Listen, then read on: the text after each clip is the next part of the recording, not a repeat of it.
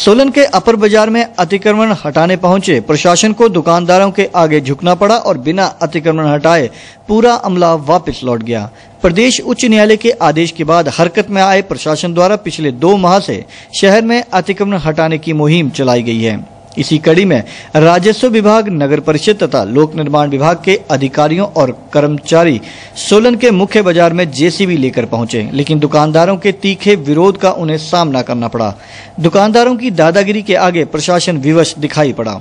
दुकानदार बीच सड़क पर ही विरोध करने बैठ गए और प्रशासनिक अधिकारियों के साथ बहस करने लगे, जबकि इससे पहले ही पैमाइश करके दुकानदारों को अतिक्रमण हटाने को कहा गया था, परंतु इस पर आज तक कोई कार्रवाई नहीं हुई।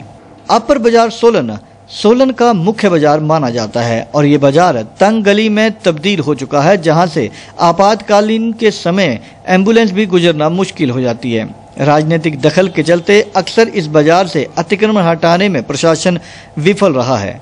तहसीलदार उत्तम चंद शर्मा से पूछने पर उन्होंने कहा कि पिछले एक सप्ताह का समय उन्हें दिया गया था, लेकिन अभी तक दुकानदार अतिक्रमण हटाने को समय मांग रहे हैं, जिन्हें और दो दिन का समय दिया गया है।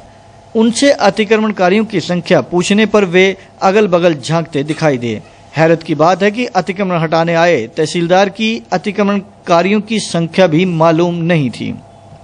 अब देखना है कि प्रशासन क्या पूरी तरह से अपर बाज़ार का अतिक्रमण हटाने में कामयाब होता है या फिर राजनीतिक दखल के चलते बड़ी मछलियों पर दरियादली दिखाते हुए छोटे दुकानदारों के अतिक्रमण हटाए जाते हैं, जैसा कि आज से पहले भी होता नज़र आया है। कोर्ट के आदेश की पालना में आज अपर बाज़ार बार का निरीक्षण किया गया। हाई हफ़्ते का टाइम दिया था, आज इसीलिए हम आए हैं तो उन्होंने आज दोबारा से एक रिक्वेस्ट की, चलो कुछ लोग मतलब अपने हिसाब से किया और बाकी हम लोग जैसे जैसे हम इसको रिमूव कर देंगे। उसका तो हम डिटेल अभी बनाए बना रहे हैं उसका बताएँगे देखिए।